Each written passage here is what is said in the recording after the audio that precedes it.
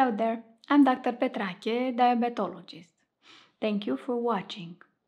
Today's question goes like this Should I avoid gluten if I suffer from diabetes?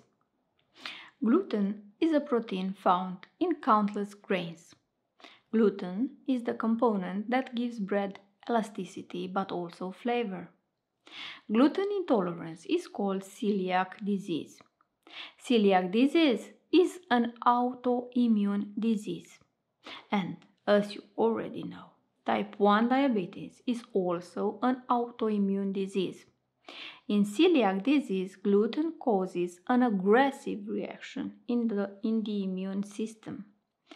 Celiac disease can be diagnosed by a simple blood test or small bowel biopsy. The most common symptoms of celiac disease are digestive discomfort after meals, bloating, diarrhea, constipation, headaches, fatigue, rashes on the skin, depression, but also weight loss. Returning to the question, there is no clear link between gluten intolerance and type 2 diabetes.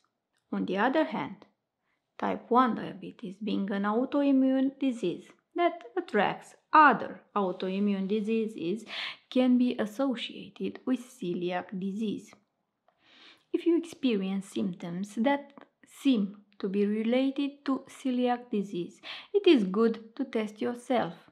If the test is negative, there is no need to remove gluten from your diet. Remember, before you test, do not stop eating gluten because test will come out as false negative. Before the test, it is recommended that you eat gluten products. If you notice that gluten foods cause discomfort, try to reduce gluten from your diet.